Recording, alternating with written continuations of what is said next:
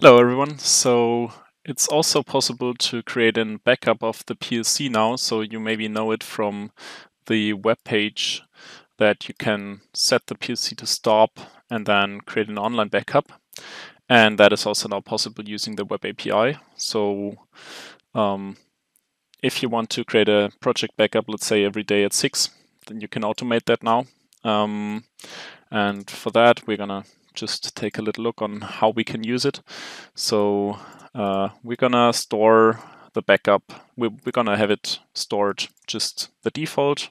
Then we're gonna say to this directory. Then we're gonna say the backup name as well, and maybe also the file extension for it.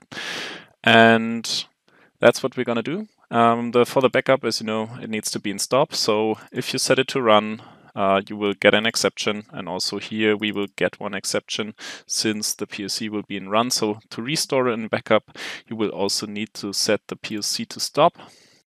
So we are doing that now. And we will start again with an empty folder, one that has been created and filled. And then we're going to set it to run. And for the restore backup, you also have to know that you will have to provide a username and the, the password for the login, uh, for the authentication, um, for the time the PLC has rebooted and it wants the new backup. And um, then we're going to set it to run again.